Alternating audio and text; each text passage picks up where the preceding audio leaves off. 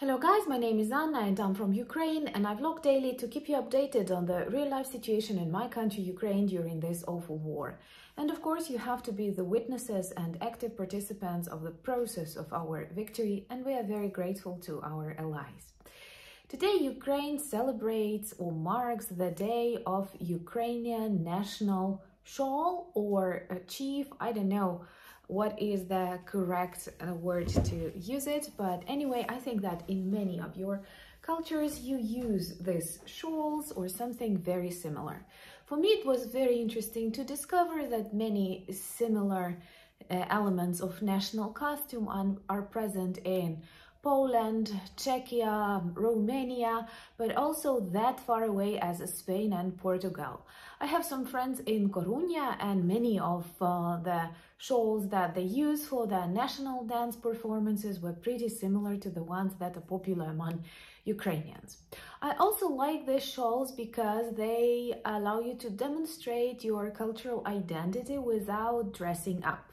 Vyshyvanka, our traditional embroidered shirt, is beautiful and interesting, but at the same time, it demands some specific care and is not always appropriate at various official meetings. That meetings, that is my uh, personal subjective opinion.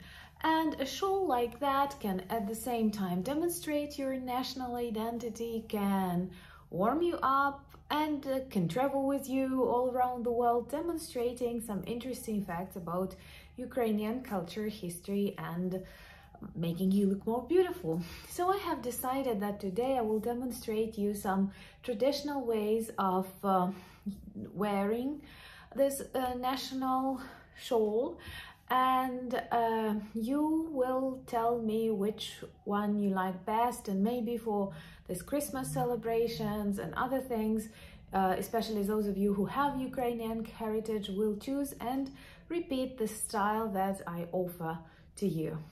Well, I have to say that my personal collection of national kerchiefs or shawls is not very big. I do have some inherited from my grandma. They are small and woolen and sometimes I wear them with um, coats or something like that. The ones that I will demonstrate to you today are modern and I have bought them on various uh, national things, uh, markets and so on. So here you see that I try and uh, mm, fix it as a, a triangle. And then you have to make like this small thing. You have to wrap it that way so it will be better to fix on your head.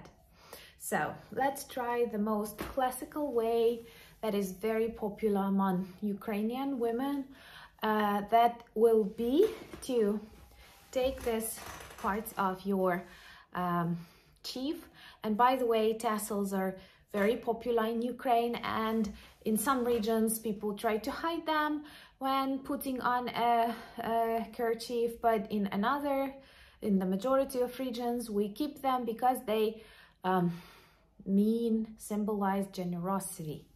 So I'm trying to hide this sides of my kerchief behind leaving a tail and putting them right here. You can hide your hair completely, especially married women in Ukraine back in, uh, like in the previous centuries were sometimes supposed to hide, but we were never uh, bad with women. That's why I think that Ukrainian gender equality is pretty fine and this is the easiest way to wear a chief. What is more importantly, you don't need to knot it or something. It is fixed and everything is um, okay. Uh, another thing I can do is I can take one side of my shawl and um, wrap it that way, making something similar to a plait or I don't know how you prefer to call it. So I roll it that way. And I put it above my like my head. And it looks like a band or something. And it makes the whole look more sophisticated maybe. And then I fix it on the other side. Well, I don't know if I'm able to show you at the, so it looks like uh, that and it's totally okay if you have tassels. If you don't like them, you can hide them. What do you do with the other side? There are plenty of options and option number one is just to use it to cover your neck. You know, women really wore these uh, kerchiefs to um, protect themselves from cold. And for a Christmas uh, period, or for example, when you go to sing carols, this is a tradition in Ukraine, you can cover yourself with this side and it looks pretty like archaic, how do you say it? Or you can simply, when you enter, for example, a house and it's warmer, you can simply leave it that way and it also looks sophisticated. Another type, uh, the way you can continue this look is do just the same thing to your other side of the shawl and then wrap it around once again making this band on the top larger, like a more serious woman. uh, that way it looks more like, I don't know, sophisticated or serious or maybe like Ukrainian women were a little bit, I cannot say aggressive, rebellious or something like that. So maybe it looks that way. And at the back of it, I just have like normal part if you're lazy like me, you can take smaller kerchiefs. This one looks similar, but it's smaller. And use them as Ukrainian babushkas, as you call them sometimes. Uh, like older ladies like to wear. Well, the most typical way would be like that. And oh, it seems to me to drive a Ferrari, you can also wear a, a, a shawl like uh, that. The popular colors are as you see this one um, purple how do you call that also dark red red green black uh, blue yellow uh, green and like milk shade color. Another very popular version that comes from and simple version that comes from various Ukrainian films about witches. There are some they are active in our folklore. Will be or like aggressive women the one that is ready to quarrel with her husband will be like to wrap it just and do it that way. Like living this living this side like okay where, where have you been what did you do and so on so these are like I cannot tell you that the style that you can often see perhaps in Russia is very popular here. Well, it's easier to wear that way, but I personally don't. If my personal favorite would be like that. Aye, aye. The easiest, the best for me. Another styling of uh, our national shawl comes from the Carpathian Mountains and I'm personally a huge fan of Hutsul culture. It's very bright, it's very authentic. It was not much influenced by various empire occupations and USSR. People managed to preserve their cultural identity the best there and they have practiced these uh, traditional things actively even in their everyday life. So definitely when you come to see Carpathian Mountains after the victory you will be surprised to see how many um, women wear national clothes or some elements of national clothes and of course national shawls. So here I take a different shade and just the same uh, structure that we need to work with. And um, also when you fix your shawl for styling, try to choose like the best and to demonstrate uh, the flowers and the patterns that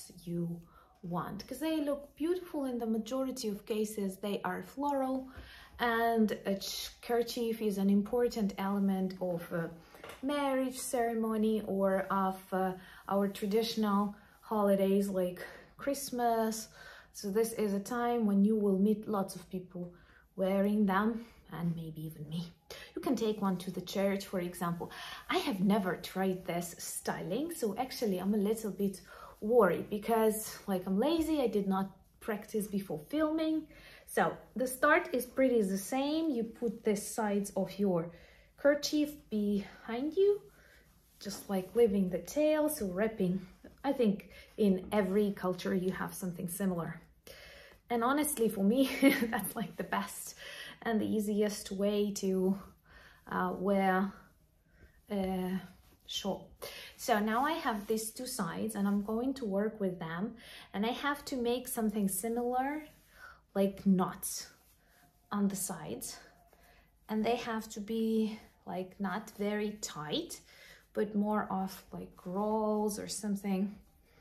They must be puffy you know like like that I feel like this like look of the day vloggers or something. And just the same on this side maybe let's try and make it now this side. Let's try and make it brighter. The tassels are hidden. Some people are more accurate than me when doing such things but you know not a very very careful person in that styling and we're trying to make this rolls this knots or whatever you call them big and puffy. See? And I will work a little bit more on this one so that it looks like puffier. And then what do I do? What do I do with all that? I rise my sides to the top making this knots more like prominent. Actually they look like my ears. Some pe people call this style that way but they have to resemble like knots. And I hide the sides and behind the band. So but once again I it, it is very traditional to leave this tassel as it shows like that you are I don't know, generous and rich. And these ears, like in my case here, I could have worked harder ah, to get the brighter color and yeah, and just the same here. So this is more of the Hutsul traditional way to wear a chief. Let me know if you uh, like it. In the past, in the history, these kerchiefs were pretty expensive. They were made of natural materials. Very often they were woolen and the number, the colors uh, could tell a story of uh, a region and also uh, how much money your husband has because to buy them it was pretty, pretty expensive. I'm sure in future I will be able to uh, make this better. Also, you can hide this tail beneath uh, the chief or you can leave it. And that's the way it looks. So if you have uh, Ukrainian shawls in your household practice wearing during winter times. Maybe that will be a stylish and cute way also to remind about Ukraine because despite all the beautiful things that we have we are very much worried about our cultural heritage our cultural identity because this war with Russia is not about economy, not just about politics, but about our existence. Thank you for buying me coffees. Thank you for becoming my patrons. And thank you for your desire to learn and know more about Ukraine. Let me say, let me know what do you think about this video. If you're new to the channel, please subscribe and Slava Ukraini!